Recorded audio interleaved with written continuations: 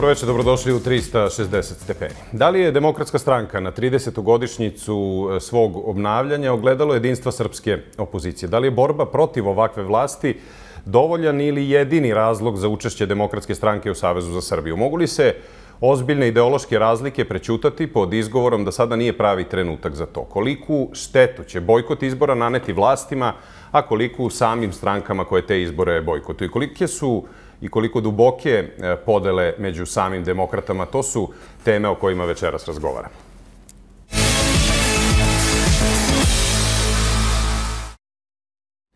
Za 360 stepeni večeras govori predsjednik Demokratske stranke Zoran Lutovac. Dobroveče, gospodin Lutovac, hvala vam što ste ovdje večeras. Dobroveče, hvala na pozivu. E, Jedna od glavnih vesti e, danas u svim medijima u Srbiji e, jeste pojavljivanje poslanice Demokratske stranke Gordane Čomić koja je na taj način prekinula bojkot, predložila je dva dva zakona, a odmah smo e, nedugo zatim čuli i predsjednika Srbije Aleksandra Vučića koji je rekao da će većina podržati te njene predloge, taj osnovni koji se odnosi na to da 40% žena mora da bude na izbornim listama. Kako komentarišete sve to? Jeste bili u kontaktu sa njom i znali da će se ona danas pojaviti u Skupštini? Ne, nismo bili u kontaktu i to je eh, flagrantno kršenje odluka demokratske stranke i to je ne samo nepoštovanje odluka demokratske stranke, to je nepoštovanje članova demokratske stranke i svih onih koji su ogromnom većinom doneli odluku o bojkotu. Prema tome, eh, taj njen čin je samostalan čin i eh, ne može se smatrati da je to odluka, da je to donet u ime demokratske stranke. Ona je kao narodna poslanica Eh, izabrana na listi demokratske stranke, po statutu demokratske stranke, dužna da sprovodi politiku demokratske stranke. Na drugoj strani, Ustav kaže da poslanici mogu eh, da su vlasnici svog mandata, tako da, s obzirom da je Ustav jači od statuta jedne stranke, ona je to mogla da učini u svoje ime, ali ne i u ime demokratske stranke. Da, evo citirat ću, ona je danas rekla da između politike demokratske stranke da se bori za prava žena i odluke stranke da se bojkotuje rad parlamenta, Eh, jer demokratska stranka smatra da nema sa kime da se razgovara u parlamentu, da nije imala dilemu da izabere eh, ovo prvo. Eh, to je njena legitimna odluka u skladu sa činjenicom da Ustav njoj omogućava da ona u svoje ime može to da uradi. Ali to nije stav demokratske stranke. To nije... Dakle, demokratska stranka je donela vrlo jasnu, preciznu, nedvosmislenu odluku o tome. Mi smo čak imali jednom drugom prilikom dilemu o tome da li je ulazak na odbor za ustavna pitanja ili neki drugi odbor, da li se i to smatra kršenjem odluke o bojkotu i s obzirom da su bile neke dileme i da je to učinjeno, onda smo, da bismo otklonili sve te dileme, sazvali predsjedništvo da jasno utvrdimo, protumačimo šta bojkot podrazumeva. Drugim rečima, da taksativno nabrojimo šta bojkot podrazumeva. I upravo je jedna od tačaka koje, koje su taksativno nabrajene jeste predlaganje zakona i amandmana na zakone. Prema tome, to je jasno, nedvosmisleno kršenje odluke. E, pogotovo e, e, treba uzeti u činjenicu da je Gordana Čomić bila na toj sednici kada je ta odluka doneta i ne samo da je bila, nego je ona bila kao iskusna poslanica ta koja je diktirala šta se sve radi u parlamentu i šta bi moglo da, e, da bude e, protumačeno kao narušavanje bojkota. Prema tome, to je e, njena odluka koja je u skladu sa Ustavom, ali nije u skladu sa politikom demokratske stranke i ona je vrlo svesna ušla u to i svojom izjavom to potvrdila. Prema tome, ona se jasno opredelila da vodi neku samostalnu politiku, a ne politiku demokratske stranke. I da li bi u tom smislu mogla da snosi neke posljedice unutar same stranke? Naravno. Pa, e, ja mislim da etički odbor večera zasjeda na tu temu i da će predložiti neke mere u skladu sa statutom. A koje bi te mere mogli da budu? Pa disciplinski postupak kojim će se utvrditi šta, je, šta bi to moglo da bude mera koja bi se preduzela. Dobro. Gordana Čomić nije jedina e, poslanica e, narodne jedina poslanica u Narodnoj skupštini demokratske stranke koja javno iznosi drugačije stavove od onoga što je e, politika i odluka koja je usvojena na glavnom odboru velikom većinom. A to je odluka da se bojkotuju institucije, da se bojkotuju predstojeći izbori. Tu je čitav niz poslanika demokratske stranke koji o tome govore gostujući i na televizijama sa nacionalnom frekvencijom. I do sada i nismo videli da se u tom smislu nešto desilo i da su oni snosili neke posljedice zato što nastupaju javno u suprotnosti sa, sa odlukama demokratske stranke. Mislim na poslanike Balšu Božovića, Aleksandru Jerkov, Natašu Vučković i tako dalje. Da li bi oni mogli da, da svi snose neke posljedice ili je sada tema samo Gordana Čomić? Dakle, u skladu sa statutom organi stranke odlučuju šta je to što je učinjeno, da li je povreda do te mere, da li je u pitanju samo iznošenje različitog mišljenja ili je pokušaj vođenja različite politike. I u skladu s tim se donose i odluke, odnosno predlozi za pokretanje postupka. U svakom pojedinačnom slučaju treba videti kakve posljedice dovode takve izjave ili da li su usmerene i da li štete ugledu demokratske stranke. Da li štete takve, takve izjave? Ja mislim da štete, da. Mislim da štete i mislim da je, je to narušavanje statuta demokratske stranke koji jasno kaže da su različita mišljenja ne samo dozvoljena, nego i poželjna unutar organa demokratske stranke. Ali kada se unutar organa demokratske stranke debatuje, raspravlja, kada se iznose različiti argumenti, na kraju dolazi do glasanja. I kada se izglasa neka odluka, ona obavezuje sve. I one koji su glasali za tu odluku, ali i one koji nisu. O tome se radi. I mislim da je krajnje vreme da se prekine sa tom praksom i e, mi ćemo učiniti sve da u skladu sa našim statutom se i donose odluke. Drugim rečima, statut jedne stranke je najviši pravni akt te stranke. I taj najviši pravni akt, ako pojedini članovi stranke ne poštuju, oni kažu građanima, evo, pošto ne poštujemo svoj najviši pravni akt, kada dođemo na vlast nećemo poštovati ni zakone, ni ustav. I to je loša poruka našim E, našim biračima i svim građanima. S druge strane, mora se znati red.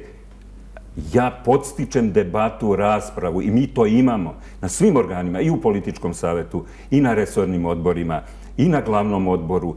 Obišao sam svuda, celu Srbiju, obišao sam gradske odbore po nekoliko puta, male odbore. I svuda smo raspravljali o svim važnim pitanjima. I kada je bila tema ulazak u Savez za Srbiju, i kada je tema bila bojkot, svako važno pitanje mi smo raspravljali u organima stranke gde jeste mesto i kako statut nalaže. Ali ne možete van uh, okvira de, uh, demokratske stranke da zastupate neku drugu politiku. Ali pošto, Možete ali, da pošto iznete, toga ima iznesete puno, vaše... ima dosta u poslednje vreme. Da li i, i, i šta mislite o tim e, teorijama da bi ta određena grupa poslanika koja tako javno istupa mogla u nekom trenutku doneti odluku da izađe na izbore? Da, da li znate nešto o tome kao neka grupa građana? E, da li ste čuli da li, pa da li takav scenario real? Postoje spekulacije o tome da e, neki nezadovoljni funkcioneri, nezadovoljni svojim položajem unutar stranke, razmišljaju da u e, dogovoru sa nekim drugim poslanicima iz nekih drugih stranaka formiraju neku svoju zajedničku listu i ipak izađu na te izbore. E, Jesu to ovi ljudi koje sam ja e, pomenuo? Pa to su samo spekulacije. Vidjet ćemo vrlo brzo, jer vrlo brzo će morati da se ovaj, vidi da li je to tačno ili nije. Ovaj potez Gordane Čomić ukazuje na to da bi to moglo biti tačno, ali to je samo indicija na, e, na osnovu takvog jednog postupka. Ono što je važno da mi kao demokratska stranka u demokratskoj proceduri donosimo sve odluke i te odluke obavezuju sve. Oni koji žele da budu deo demokratske stranke dužni su da poštuju te odluke. Kao što sam ja kada sam bio predsjednik političkog saveta i kada su donošene odluke sa kojima se nisam slagao, ja nikada u javnosti nisam iznosio pro, a, neke stavove koje su protivni stavovima e, moje stranke, iako se nisam slagao s njima. Jer smatram da je osnova političke kulture i osnova demokratije da se poštuju procedure. Procedura je u demokratiji mnogo važna. I ako ne poštujete procedure u sobstvenoj stranci, pa kako ćete poštovati onda sutra kada dođete na vlast? To je suštinsko pitanje. Da li je demokratska stranka e, danas, odnosno evo pre nekoliko dana, obeleženo je 30 godina od obnavljanja od obnavljanja stranke blizu jednoj novoj podeli, nekom novom cepanju. Imamo danas čitav niz e, stranaka u Srbiji koje su e, praktično nastale iz demokratske stranke, koje su osnivali nekadašnji istaknuti članovi demokratske stranke i praktično čitava opozicijona scena je na neki način povezana sa demokratskom strankom. Da li, da li je na pomolu još jedna podela? Pa, demokratska stranka, e, s jedne strane, to je odraz činjenice da u demokratskoj stranci postoji prostor za slobodu mišljenja, prostor za debatu, za drugčije mišljenje, gde oni koji drugčije misle nisu na tapetu. Oni nisu ka... Pa sama Gordana Čomić je bila protiv kandidatkinja meni na izborima i nije snosila nikakvu posljedicu e, zbog toga što je e, izgubila na tim izborima. Naprotiv, ostala je, ostala je generalni sekretar kao što je i bila i, e, i bila uvažena kao što je i bila. Dakle, e, to je suština demokratske stranke. Međutim, e, nekada, se, nekada dođe do razlika u mišljenjima i ta razlika bude toliko velika da dolazi do razlaza. U ovom slučaju ne može se govoriti o bilo kakvim podelama. Vi imate nekolicinu nezadovoljnih funkcionera koji nezadovoljni sobstvenim položajem žele da a, poboljšaju svoju poziciju ili unutar stranke ili tako što će pokušati da ono što nije moglo da prođe unutar stranke, zašto nemaju većinu unutar stranke, da na neki drugi način ili sa nekim drugim sprovedu život. Ja se iskreno nadam da je došlo vreme da demokratska stranka najzad ponovo bude gravitacijona tačka okupljanja, a ne više stranka koja će biti odvajanja. O podelu nema ni reči. Ali posljednje dešavanje govore da je na pomolu nešto drugo. Na pomolu može biti odvajanje, odnosno izlazak nekolicine kandidata za neke funkcije koji nisu prošli ili ljudi koji nisu zadovoljni svojim položajem. Ali kada govorite o podeli, to bi značilo da mi o važnim političkim pitanjima razmišljamo potpuno drugčije. To bi značilo da glasanje o ulazku u Savez ne bude 200 naprema 9, nego da bude 150 sa, prema 140 ili tako nešto. Ili e, da ta razlika bude e, mnogo izraženija, odnosno da ne bude toliko izražena, nego da budu e, podele, kad kažete podele u našem jeziku, to podrazumeva da vi imate približno jednak broj onih koji su za jednu opciju i nekih drugih koji su za drugu opciju.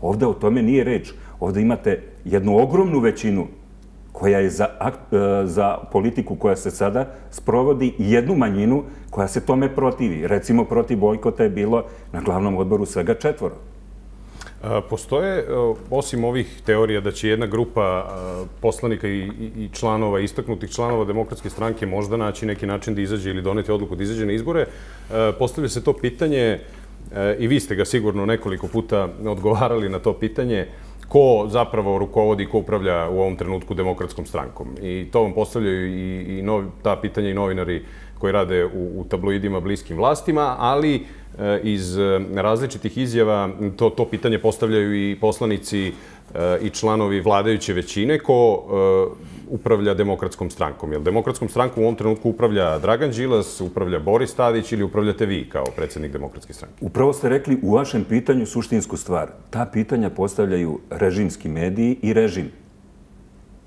Vrlo, vrlo je jasno i nedvosmisleno da odluke u demokratskoj stranci se donose u skladu sa statutom i donosi ih većina u svim organima. Dakle, demokratskom strankom upravljaju članovi demokratske stranke. I niko više. Ova priča je čisto spinovanje kako bi se udarilo na integritet demokratske stranke. I to rade svesno e, ljudi iz režima, pošto ne mogu da nađu nikakvu manu demokratskoj stranci, onda joj nalaze takve neke izmišljene priče u kojima se govori o tome kako neki drugi utiču na demokratsku stranku. Na demokratsku stranku niko sa strane ne utiče, isključivo utiču članovi demokratske stranke. Da li, bi, e, da li je potrebno demokratskoj stranci da se kolokvijalno izrazim čišćenje ili provetravanje ili sređivanje e, tog e, javnog nastupa, jasnog stava kuda i šta u ovom trenutku radi demokratska stranka. Kad vas to pitam, to onda znači da određen broj članova demokratske stranke, sada javno, da li na društvenim mrežama, da li na javnim skupovima, poziva na, na to čišćenje stranke, na prosto to samo po sebi podrazumeva Eh, da neki članovi stranke koji ne sprovode eh, politiku zvaničnu stranke budu isključeni iz demokratske partije. Da li ste o tome razmišljali? Ja ne bih koristio nikada termin čišćenje. To nije termin za demokratsku stranku, niti za bilo, kako, bilo koju drugu demokratsku stranku. Ono o čemu treba da govorimo jeste da eh, govorimo o poštovanju samih e, E, akata stranke, politike stranke i članova stranke. Jer vi kad ne poštujete odluku stranke o bojkotu, to znači da vi ne poštujete preko 180 ljudi koji su glasali za to. To znači da vi e, ne poštujete ogromnu većinu, preko 95% širom Srbije, koja, je, koja jeste za tu odluku. To je nepoštovanje članova. I to je stvar koja je stvar i lične i političke kulture. I e, tu se ne može e, e, disciplinovati bilo ko na drugi način, osim da se e, poštuju akti koji uređuju ta pitanja. I prema tome, važno je biti principijelan, biti načelan. Znači, reći ako da neki da ono što važi za bilo kog člana u stranci važi i za funkcionera i važi za bilo kog da li je on predsjednik, da li je zamenik, da li je obični član, mora da važe ista pravila. Jer tako moramo da uredimo i državu. Ne možemo da pravimo državu u kojoj će zakoni da važe samo za narod, za obične građane, ali da ne važe za funkcionere. To smo videli, to viđamo sada i to nije dobro. I mi to moramo da menjamo. A da bismo to promenili, moramo da promenimo i u samoj stranci taj obrazac ponašanja. Taj obrazac ponašanja, E, mnogi to žele da pripišu e, činjenici da je demokratska stranka otvorena i za razliku od drugih postoji mogućnost za debatu. To jeste tačno, ali postoji i neka crvena linija koja se ne prelazi. A to je da takvim ponašanjem vi ne možete da sprovodite neku svoju politiku, nego u kranjem da sprovodite politiku stranke u kojoj ste. Kako biste objasnili činjenicu da je šef poslaničke grupe Srpske napredne stranke danas u Skupštini Aleksandar Martinović Eh, izrazio posle eh, čitavog niza godina određenu dozu simpatije prema demokratskoj stranci. Rekao je da je demokratska stranka jedini pravni, pravi gubitnik eh, izbora. Danas je, je to govorio o tome u Skupštini. Zbog toga što ona ima reputaciju i dugu političku tradiciju i da je jedina koja neće izaći na izbore dok će njeni koalicioni partneri učestvovati na izborima po drugim imenima. Pa dakle, sama činjenica da s jedne strane pripadnici režima su vrlo kontradiktorni kada je u pitanju demokratska stranka. S jedne strane, potpuno smo kao marginalni, nismo važni, a s druge strane, stalno smo u centru zbivanja, stalno smo u centru njihove pažnje i stalno su zabrinuti za to šta se dešava u demokratskoj stranci. Pa jednom prilikom je Aleksandar Vučić rekao, pa to što se tamo dešava kada je bilo priča o tome da on pokušava da, da nešto kadrere ili da razbije demokratsku stranku, da Eh, vi to u demokratskoj stranci radite sami baš tako kako bi on voleo da se to dešava. Pa on to voli i sve čini da tako bude. I to je jasno svima. I unutar stranke i van stranke. Dakle, on je zainteresovan da razbije demokratsku stranku i to je korak sa onom svojom karikaturom gde Vučić udara zarđalom kašikom u znak demokratske stranke, vrlo jasno pokazao. Nije slučajno što se udara na demokratsku stranku. Ona je simbol ne samo stranačkog života u Srbiji, ona je simbol demokratije u Srbiji. A e, demokratska stranka je neprijatni svedok Aleksandru Vučiću da može drugčije i bolje. I zato je demokratska stranka na meti. Demokratska stranka je e, e, pokazuje kako može da se unutar stranke vode razgovori najnormalnije, gde je moguće e, donositi predloge, suprotstavljati se lideru, a ne kao u njegovoj stranci. Zato njemu smeta demokratska stranka. Nije to slučajno. Ali evo, očigledno je da bi e, Srpska napredna stranka volela da, da vidi demokratsku stranku e, na izborima. Pa svi bi, voleli da, svi bi voleli da vide demokratsku stranku na izborima I mi bismo voleli da učestvujemo na izborima, ali izbora nema. U tome je suština. Mi nemamo izbore. Mi imamo lažne izbore. Kada bude pravih izbora, bit će i demokratske stranke. A ovo što mi radimo jeste borba za izbore. Da biste učestvovali na izborima, izbori moraju da postoje. Njih nema. Zato smo mi proglasili bojkot. Bojkot je sredstvo da dođemo do slobodnih i poštenih izbora. Šta to znači? To znači da imate E, slobodne medije. Da bi građanin mogao da glasa, on mora slobodno da formira izbornu volju. Kako se formira izborna volja? Pa tako što ste informisani. A šta piše u našem ustavu? Naš ustav je najviši pravni akt. U ustavu piše da građani moraju biti informisani istinito, potpuno i blagovremeno. Mi to danas nemamo. Znači, krši se direktno ustav. Građani nemaju zagarantovano pravo. I ako nemaju pravo, ako nemaju informacije, ako imaju, e, mogu da čuju isključivo jednu stranu, pa za koga oni da glasaju? Ako oni mogu da čuju samo od Aleksandra Vučića i njegovih pristalica i njegovih funkcionera, o demokratskoj stranci isključivo šta kažu oni, a ne šta kažemo mi sami, da on tumači naš, e, na, na, naše biće i naše postojanje i naš program i našu ideologiju, da on govori o nama da smo mi žuti lopovi, a da mi nemamo šansu da na to odgovorimo. Tako, to nisu izbori. To je, dakle, formiranje izborne volje. Pod broj dva, da bi izbori bili izbori, oni moraju da budu slobodni. Šta to znači? To znači da građani izlaze na izbore i slobodno se opredeljuju za koga će da glasaju. A ne pod pritiskom, ne pod ucenom da ako ne glasaju za vlast, izgubit će posao.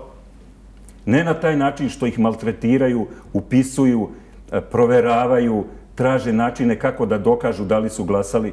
To su pritisci. Vi imate preko 230.000 ljudi u Srbiji koji su e, zaposleni u javnom sektoru. Svi ti ljudi I to zaposleni su na kratkoročne ugovore od tri meseca ili najviše šest meseci. Oni da bi zadržali svoj posao su ucenjeni da moraju da glasaju za ovaj režim. Ako vi imate 230.000 takvih ljudi, plus oni su zaduženi od 5 do 10 sigurnih glasova da nabave. Dakle, ne samo oni da moraju da glasaju, nego moraju da nađu još glasova e, ljudi koji će da glasaju za, za da, ovaj režim, te onda cifre mi dolazimo... Od eventualno milijon i po glasova na koliko može uvek da računa Srpska napredna stranka, ali tu postoji jedna velika većina i ogromna cifra drugih uh, i pitanje je šta se sa njima dešava i razgovarat ćemo još o izbornim uslovima. Hvala vam na ovom delu razgovora. Uh, pravimo kratku pauzu i nastavljamo razgovor u studiju.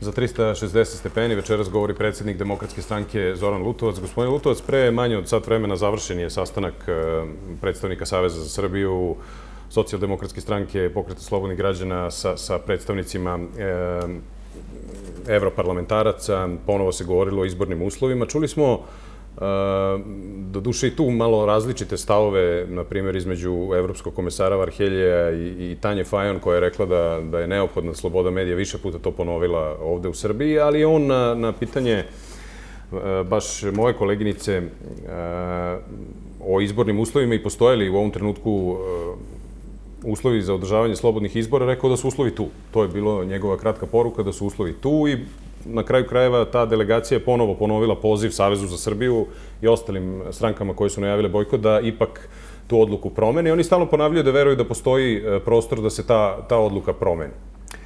Dakle, pitanje je kad neko kaže da postoje uslovi za slobodne izbore, e, šta mu je izvor informacija? Ako je to izjavio posle susreda sa Aleksandrom Vučićem ili zvađeničnicima u Srbiji, onda ne čudi što je dao takvu izjavu. Međutim, e, suština je sljedeća, da ako mu je izvor informacije izvišta Evropske komisije, onda on takvu izjavu ne može da da.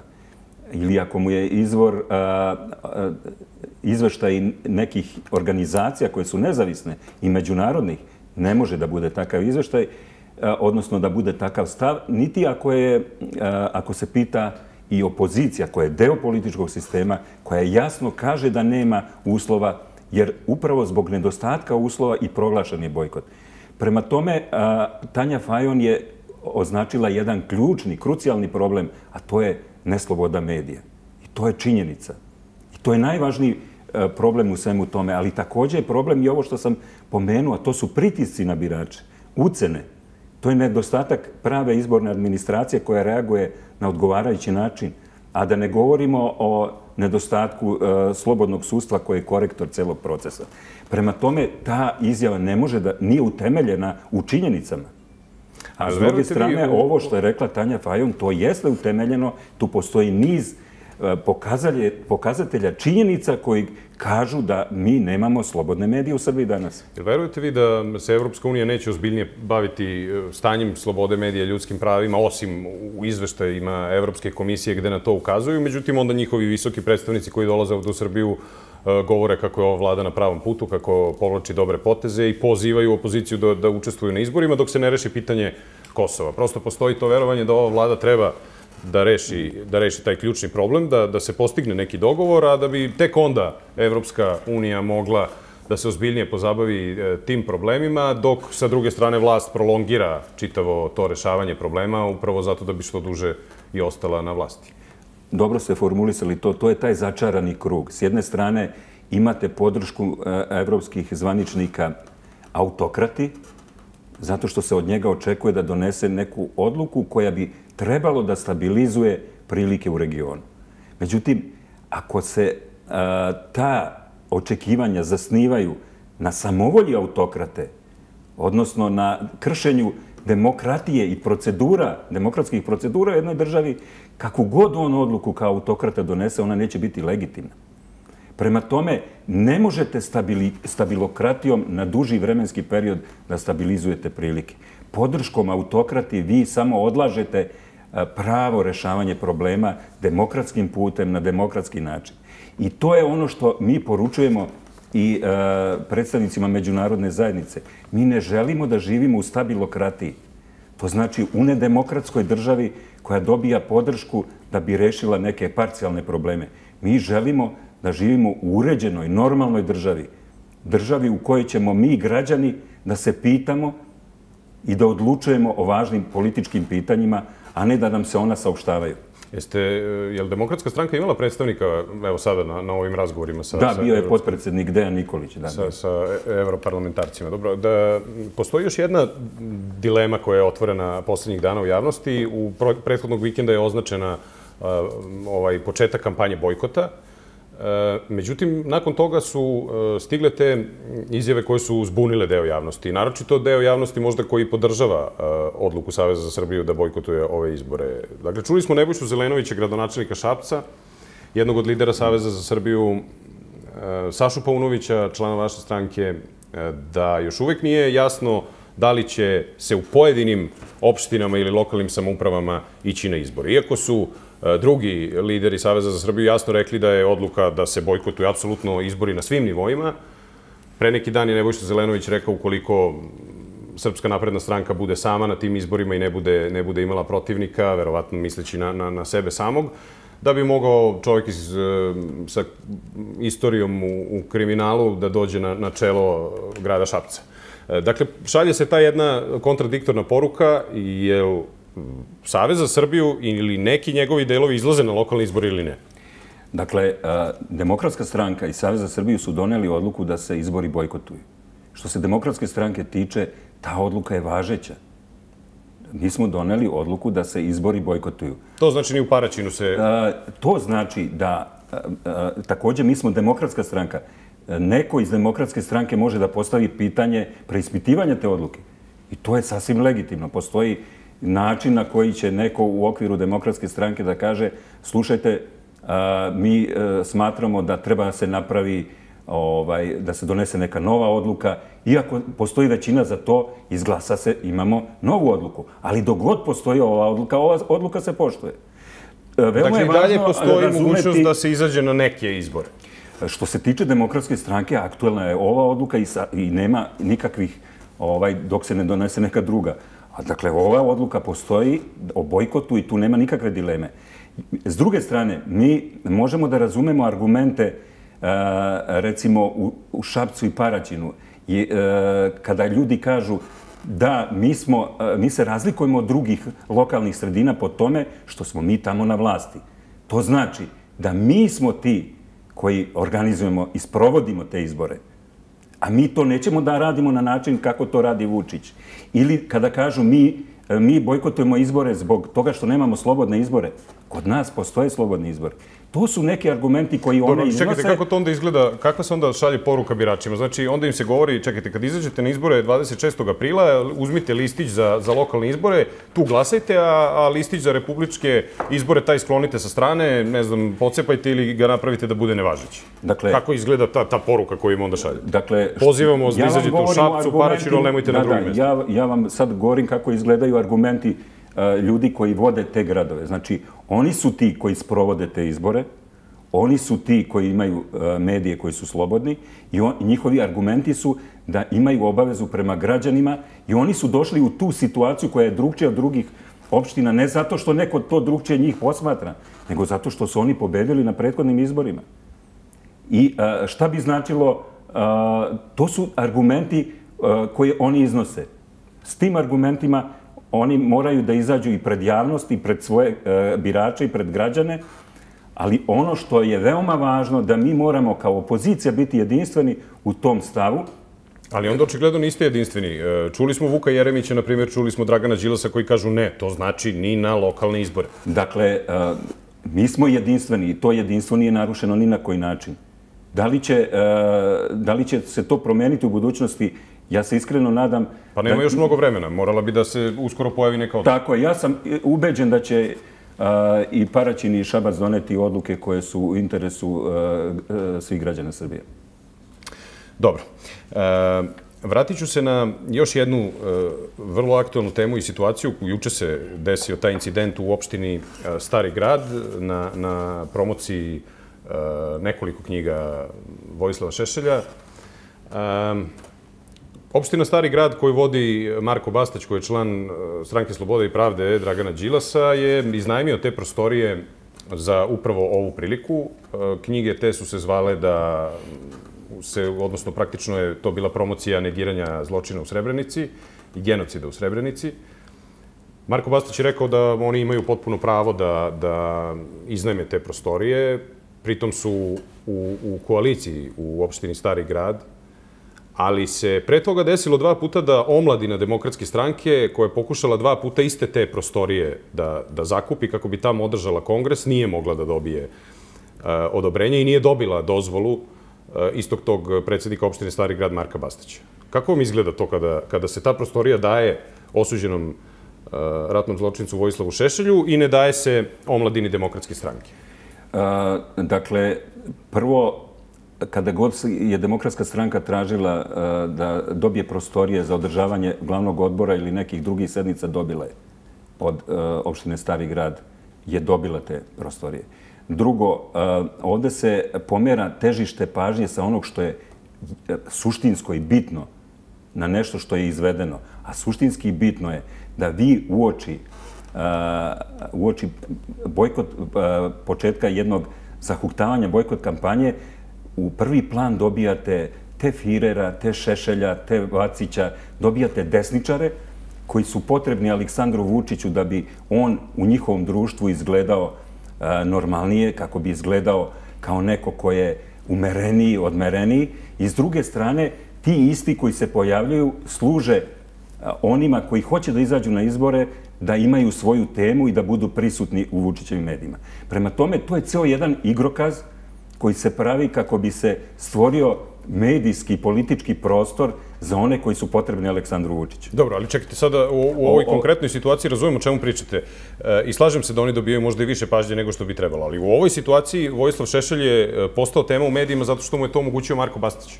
Ne, nego zato što je on... Ili zašto je Marko Bastać morao da učestvuje u tome? Mogao je da kaže da ta sala ne može da se koristi za takve prilike za negiranje genocida.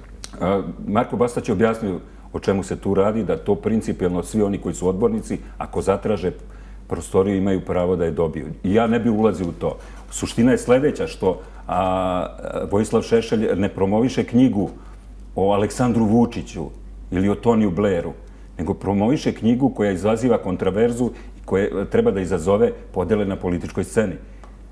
Promoviše knjigu koja negira genocid, gospodine Lutovac. Apsolutno neprihvatljivo. Apsolutno neprihvatljivo. I taj čovek je pitanje kako ošte sedi u parlamentu Srbije. To je ključno pitanje. Na primjer, Srpska radikalna stranka je u koaliciji u opštini Stari grad. Zamenik Marka Bastaća je član Srpske radikalne stranke. To je, to gde, je gde, je tu onda, gde je tu onda princip i principilna politika ako oni, oni su deo Saveza za Srbiju? Marko Bastać je potpredsednik stranke Slobode i Pravde. Da li vi kažete Draganu Đilasu e, nešto, na primjer, o ovome? Gde je demokratska stranka... To je unutrašnja stvar e, Saveza, odnosno e, te stranke. To je njihova unutrašnja stvar. I kako će oni tu unutrašnju stvar da rešavaju, to je njihov problem. Ali, je činjenica... Ali ne mislite evo da su samim time što su, što su dozvolili Vojislavu Šešelju da koriste te prostorije e, napravili evo medijsku priču o, o kojoj vi pričate? Medijska priča je napravljena, a da li je on znao šta će tu biti promovisano, ja mu verujem kad kaže da nije znao. Dakle, prema tome, oni su tražili prostor za promociju, a nije znao o čemu se radi. Dobro, ajde samo da se vratimo onda na ovaj deo. Dakle, Moguće da ne ovo... pada mi na pamet da branim niti postupke, niti uh, saradnju sa njima, niti bilo šta. To je stvar koja treba da se rešava principijalno i ja sam za to.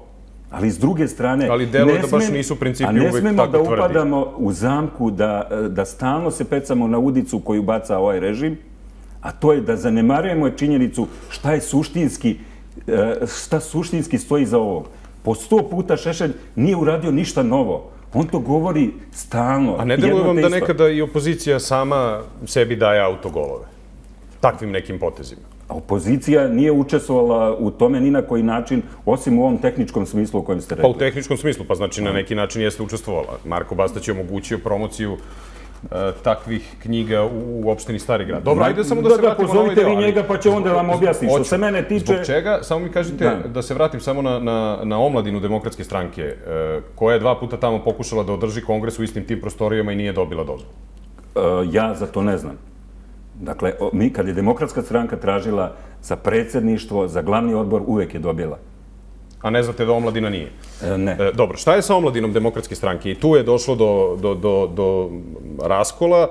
Vi ste saopštili da je taj deo e, omladine demokratske stranke raspušten ili je raspuštena čitava, jer postoji odluka na organima stranke zvanična koja je validna i važeća? Dakle, demokratska stranka je raspustila omladinu posle kongresa koji je održan uprkos preporuci da se to ne čini jer nije moguće ispoštovati postojeća pravila sugestija izvršnog odbora je bila dajte da napravimo pravila koje je moguće ispoštovati, da ne bi došlo do kršenja pravila, pa onda da se održe kongres.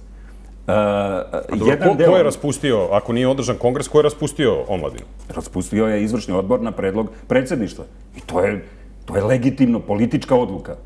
Nema tu... Dakle, postoji dokument koji je po statutu stranke da je... To je politička odluka i koja je e, sprovedena znači na osnovu predloga predsjedništva. Dobro, i sada postoje dva, na primjer, naloga na društvenim mrežama omladina demokratske stranke sa različitim znakom, na primjer, na Twitteru. E, ako je raspuštena omladina, onda je uopšte nema. Ili sad ima ona koja je prava i koja nije prava? Postoji povereništvo omladine i ono je legalno i legitimno.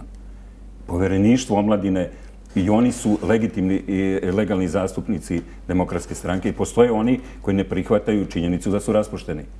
E, to znači ona se praktično nalazi u nekom vanrednom stanju. Nema tu vanrednog stanja. Tu imate nekoliko omladinaca koji smatraju, e, koji e, prosto ne prihvataju odluku da su raspušteni. To je, kako da vam kažem, to je pitanje koje... Tu se ne radi, kada se kaže raspuštena odmah, to nije odricanje od omladine. To je pokušaj da se dovede u proces kakav je legalan, kakav treba da bude, da se donesu pravila koja važe i koja je moguće ispuniti i po tim pravilima svi imaju jednaka prava da se kandiduju i da učestvuju u izbornom procesu. Ništa više od toga. Da li bi tako onda, eh, ako su to isti motivi da bi se doveo ili uveo red, kako kažete, onda moglo da bude raspušteni poslanički klub u, u Skupštini?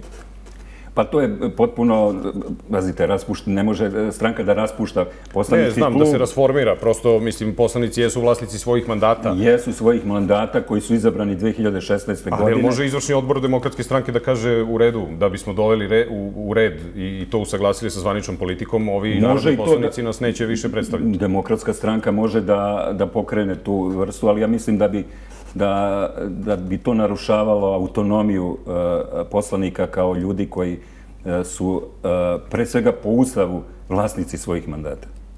Hvala vam i na, na ovom delu razgovora. Ovdje ćemo još jednu pauzu napraviti i ostanite uz 360 stepeni, brzo se vraćamo.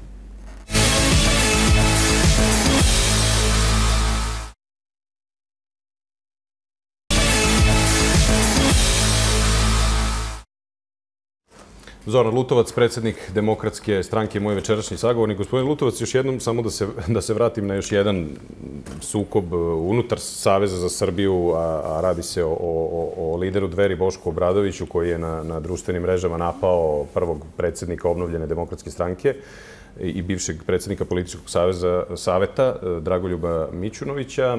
Gospodin Mićunović je gostao ovde i na, na televiziji N1. On je više puta ponovio taj svoj stav da je protiv bojkota i da je za, za borbu i za izlazak na izbore. Vi ste osudili izjavu Boška Obradovića. E, šta se sa tim desilo? Da li je to na, na bilo koji način uticalo na, na, na vaše odnose?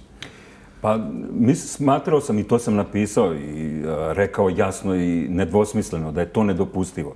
Način, e, na taj način komunicirati sa profesorom Mićunovićem i ne samo s njim, sa bilo kim, to je neprimereno.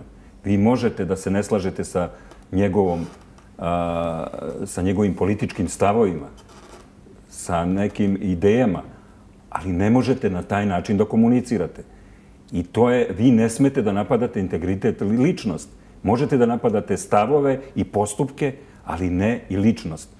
Prema tome, to je bilo vrlo jasno, decidno rečeno i vrlo oštoro saopšteno i u, u okviru samog a, predsjedništva Saveza za Srbiju. Mislim da je to neprimereno jer mi moramo na sobstvenom primjeru da pokažemo da ćemo biti drugčiji, da ćemo da gajimo drugčiju političku kulturu i da kad se ne slažemo sa postupcima i stavovima, da osuđujemo postupke i stavove, a ne da idemo protiv ličnosti.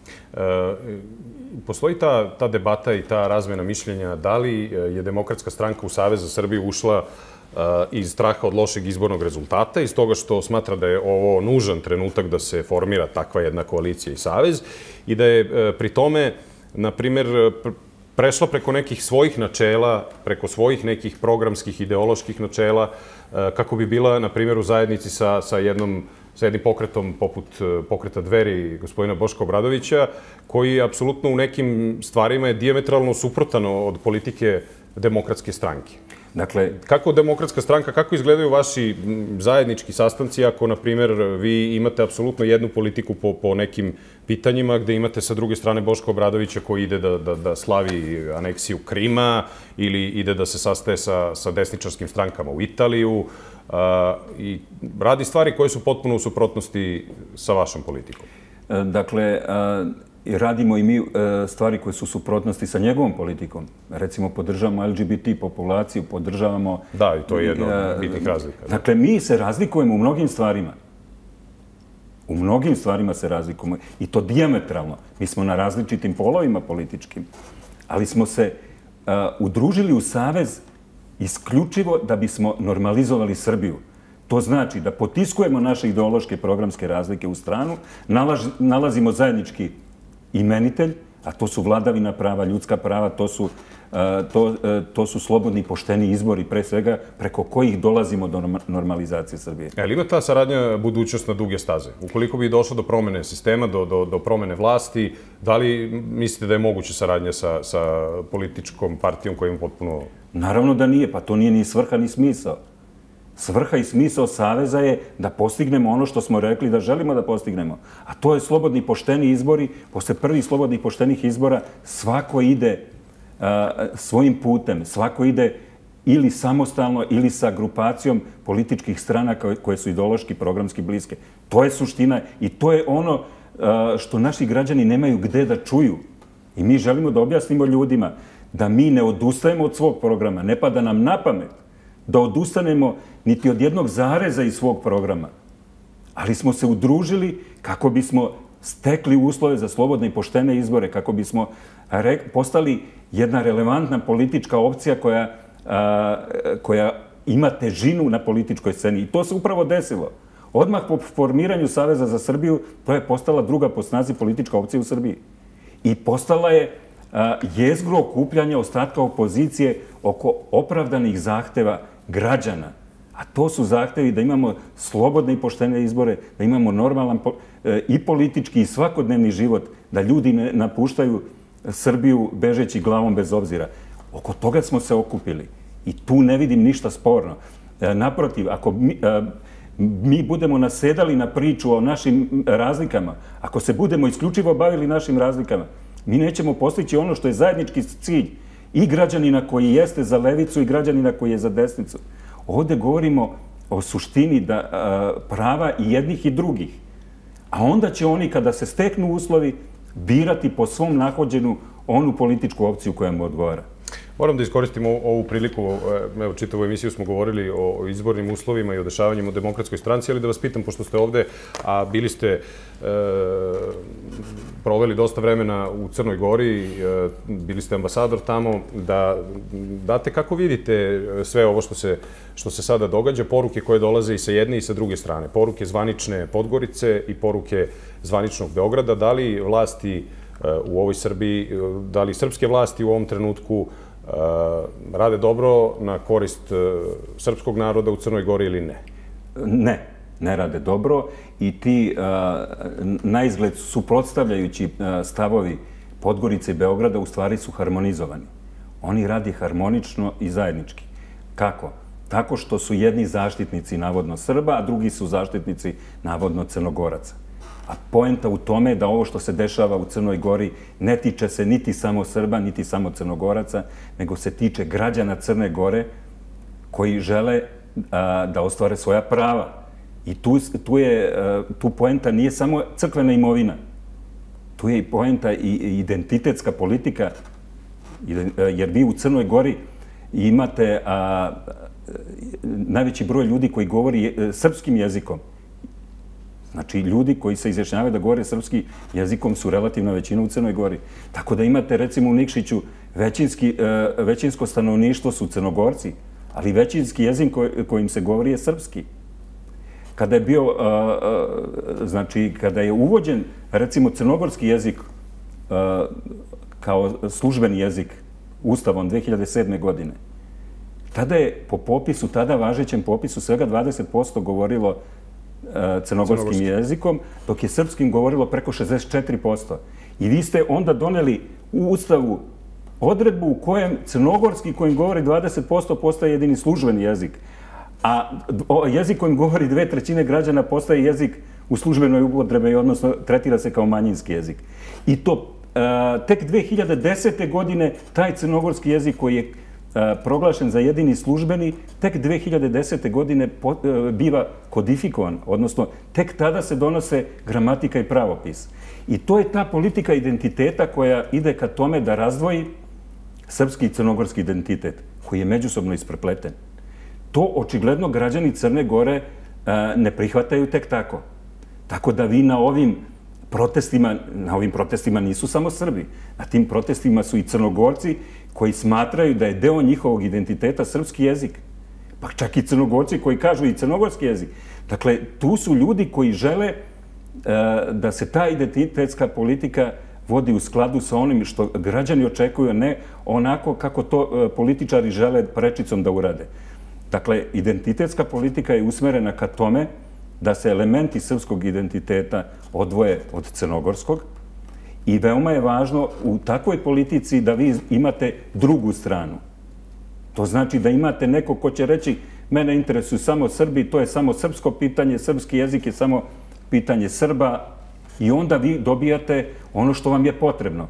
Dobijate nekog ko je vaš navodno politički protivnik, a u stvari radi u vašu službu time što e, govori isto što i vi, samo sa drugih pozicija.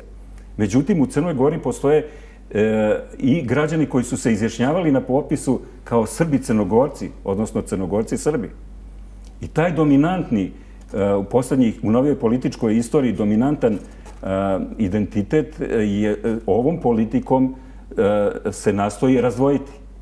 I to je jedna politika koja e, je bila do sada uspešna, međutim na ovom pitanju je došlo do očiglednog e, do lošije procene, prosto nisu mogli da pretpostavljaju da će e, na to reagovati građani Crne Gore koji baštine identitet, upravo taj identitet koji kaže, to su ljudi koji za sebe kažu da ja sam crnogorac, ali govorim srpskim jezikom, da ja sam crnogorac, ali idem u Srpsku pravoslavnu crku.